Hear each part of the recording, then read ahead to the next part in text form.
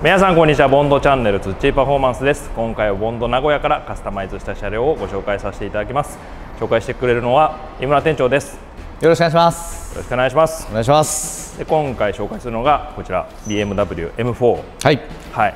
これが、まあ、ちょっと、まあ、カスタマイズの話の前に前に。はいはいはい。ちょっとこちらの車はい。注目するべきところは、はい。なんとオーナー様がすごくお若いってことで。そうですねえーっと19歳。もう二十歳 二十歳になったのかな。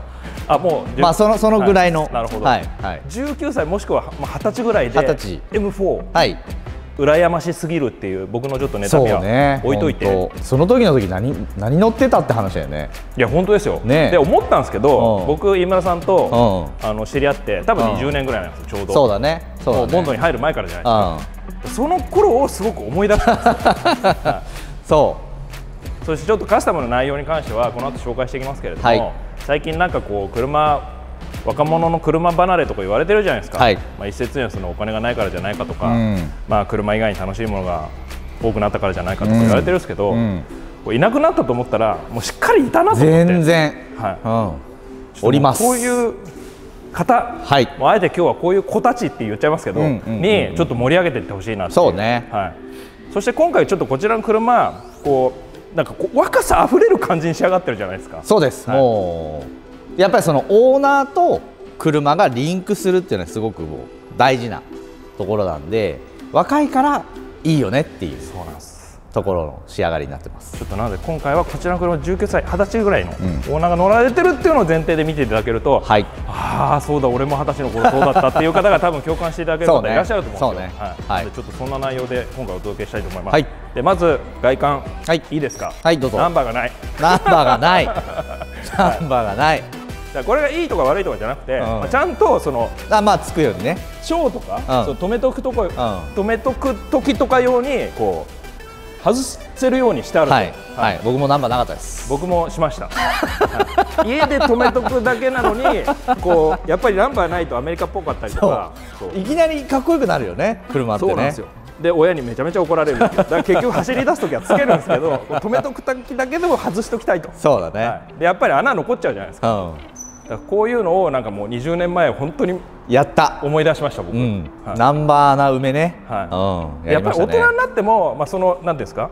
ルール的なものとか モラル的なものももちろんありますけど、はい。やっぱりナンバーないと、ん。まあ、カタログみたいだし、ん。はい、PV みたいだし、ん。はい、出てくる車みたいじゃないですか。すごくかっこいいよね。やっぱりシュッとしててかっこいいですよね。かっこいい。はい。まあ、もちろん普段はつけて走られてますんで、はい、まずそことあとはこの車高の低さです。はいはい、まあ低いよね、まあ低いっすね。名古屋店のあの表の入り口が正面から出れないっていうね。今まで始まって以来の低さです。はい。もうやっぱり車高の低さはって言うじゃないですか。うん言うね、はい、その先は言わないですけどやっぱり年を重ねていくと、ん。やっぱり程よいローダウンとか、はい。まあ、究極を言えばもうノーマル回帰、はい。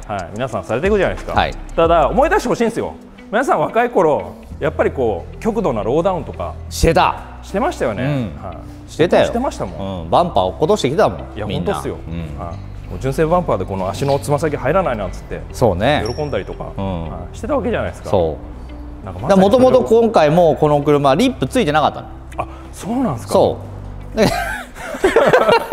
下げるのにリップをつけるそう。なんかリップやっぱあった方がいいなと思ってああそうですね見た目的には。最近このリップをつけてでホイールをスタンバってたっていう感じです。でその車高に関してもこうリフターとかやっぱり大人になるとん。いろいろ安心安全を求めるからね。はい。段差であーなんてやってると それいいよいい年こいてって言われちゃうじゃないですか、はい。けどもちろんリフターとか一切なくない、はい、全くないです。車高調でこの車高っていう、もうそこに若さを感じましたね。そうだね。でリップもだからそのもちろんそのそんなコンビニ入るのも大変な車にしてってこう どっちかっていうとその時の親の世代に近づいたんでそうだねはい。確かに。そういう感覚がいつの間にか身についてたんですけど。俺は身につかないよ。俺は身につかないよ、もうん、全然。いつの間にか僕身についちゃってましたけど、うん。行けないところは行かないっていうじゃあ本当にあ確かに。どうにかしてっすよねバックとか斜めとか その時をすごく思い出したなってはい。もうだからもうリップとかもなんかその最近あるじゃないですか。ここガードするやつとか。ああそれすらもつけない。駄無駄無駄、うん、ガードしようがないもうここまでしちゃうと。十何年前かに聞いたこうリップは消耗品っていう言葉を思い出しました。そうね。はい、でまさにそれを地で言ってるっていう、はい。こう若さあふれる感じ。いいだからあ毎回あの飯村さん作る車ってその車の後ろにそのオーナーさんっていうこう背景が見えるというか,、はいはいだからまさに今はい。回その19歳っていうところを聞いてなんか全てつながったんですよね車の雰囲気が、うんあなるほどと思って。元気いっぱいな感じで。そうなんですよ、うんそしてちょっと横行きましょうか。横行きましょうか。で横のこのスタイリングこのホイールチョイスも、はい。ちょっと僕20年前思い出したんですよ、うんうんうん。要はアメタン黎明期の頃、うんうんうんうんうんもう今みんなつけてるアメタンなんかもう全然なくて、うん。もう多分分かる人なんかもう数えるぐらいだと思うんですけどフィクシーとかそうだね。キキネシスとかね。まあ、HRE がかろうじてあったかなっていう。うんうん。で現代風にもちろんブラッシュアップされてますけど、はいどっちかっていうとこうクラシカルなメッシュデザインでそステップリップで、ううん。はい、だもう今回そのオーナーがその子で車がこれでで車庫端にして何をホイール持ってくるかって言ったらやっぱりまあもちろんその最近のアナーキーとかねその1221とかの2ピースでガーンっていうのもかっこいいんだけどまあここかなっていう感じで。トレンドを追いかけてる感じじゃなくて王道をいってる感じ？そうそうそうそうそうそう。そうそしてで僕ら世代が見た時にちょっとこう懐かしさを感じちゃう、うんうんうん。もちろんその当時のものじゃないんですよ。そうだね。じゃないんですけど現代風にこうブラッシュアップされてるんですけど、はい。王道のデザインが、はい。僕まさに本当に20年前の本当に飯村さんがマニュアル A4 前置きインタークーラーっていう、やってたね、はい。その頃思い出したんですよ。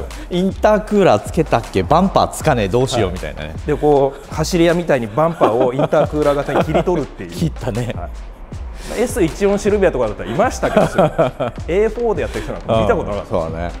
でもその頃のなんかその界隈のはい。ノリをなんか思い出しました、うんうんちょっとこう激しめのローダウン。でそうだね。あの時はまあ18インチが主流だったんだけどまあ今は20インチになって。現代風にちゃんと。そう。はでちゃんと,、えーとまあ、この今回の HR クラシック300に関して言うとセンターディスクは、えーディープリムのタイプにするのかコンケーブにするのかっていうのが2種類選べる。い、こっちコンケーブこれはコンケーブなんでセンターディスクがこう立ち上がって真ん中に落とし込んでるっていうタイプになってます。だこれすごいのはだから当時のそのクラシカルな雰囲気もあるんですけど、うん。ちゃんと本当に現代版にリバイバルされててそうまずそのフィニッシュもそうなんですけどディスクがこう手前に飛び出てる。そうちゃんとこうそう落とし込んでる。る。うん。昔のってもうあの言ったら BBS の LM とかってうん。真っ平らじゃないそうだね。なんですけどちゃんとこう立体感のある。そうだからハードウェアのその取り付け面から平らだったもんね。言ってもね。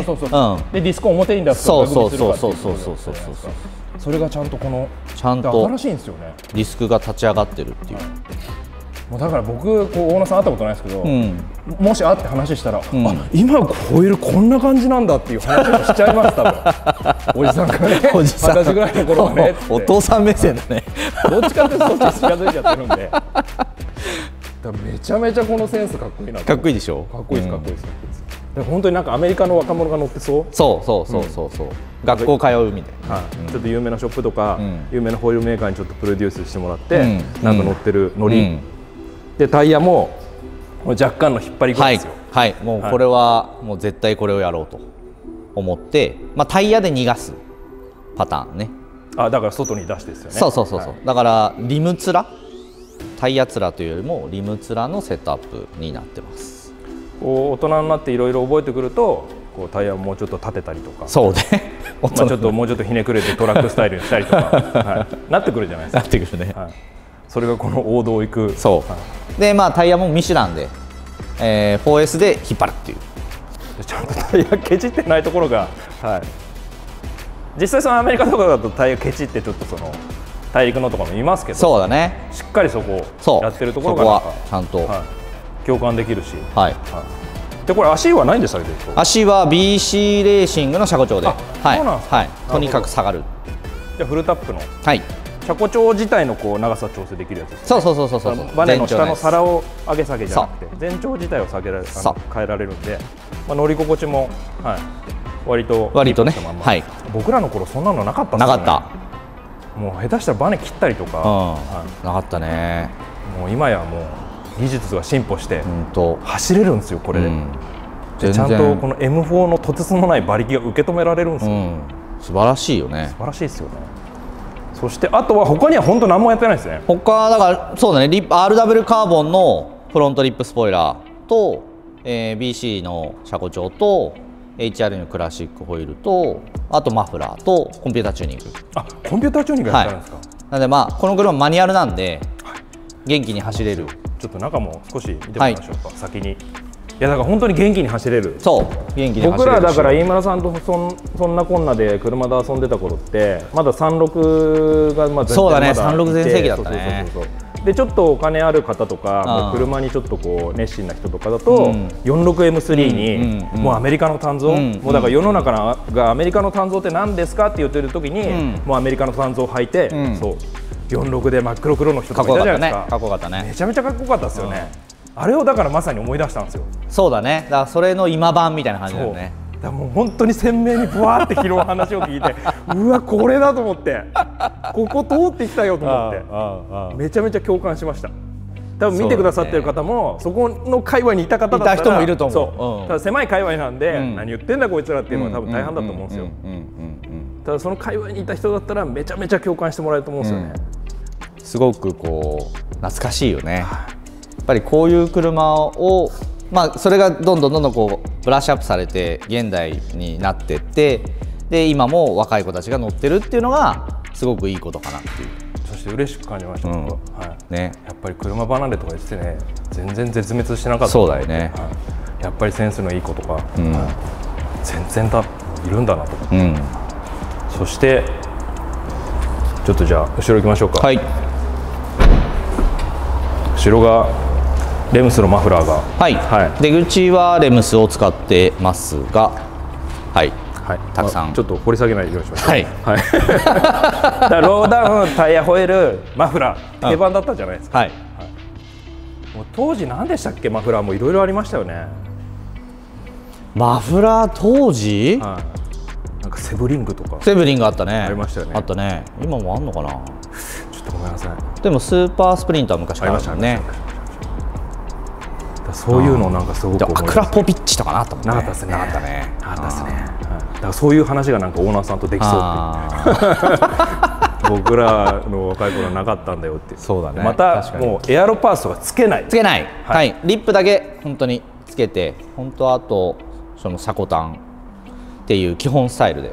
もう今何でもあるじゃないですか。ワイトボディキットとかエアロキットとか。僕らの頃なかったじゃないですか、なかったね。はい、本当なかったその頃を本当に思い出した、う。ん確かに。ちょっとエンジンえコンピューターチューニングはもう書き換えちゃってるんですか？書き換えのタイプで、であのー最近よくあるバブリングはいはいはい。が入るように、そうそうそうそうそうアクセルオフでバババババババッアフターファイヤーがうん、っていう風な仕様になってます。じゃあこの車に乗って本当に元気に走り回って。そうマニュアルでね、はい。うん。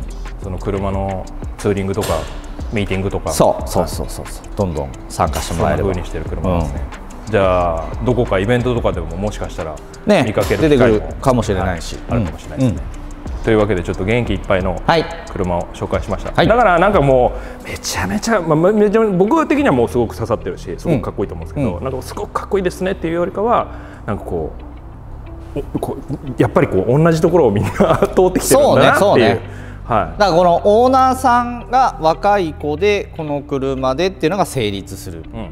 パターンじゃない、そうなんですよ。これ僕が乗ってたらあー何やってんのよって、はどうしたってなるね、子供いるのよこの車高って言われちゃうんですよ、うんうんうん。はいだからちょっとそこのフィルターをかけてちゃんと見ていただきたいそうそうそうそうそう、うん。車単体というよりねお全体的なものを見てもらえるやっぱり皆さん通ってきてるところだと思う。んでそうですだって僕今さっきマフラーの音聞いて、うん本当にシビックあのイージーシビック、うんもう砲弾マフラーつけて。ああパーンってやつね、はい、VTEC 入ると。パーってなる。あれで白バイにこう捕まってあの交通機動隊の事務所まで連れてかれたのを思い出しました。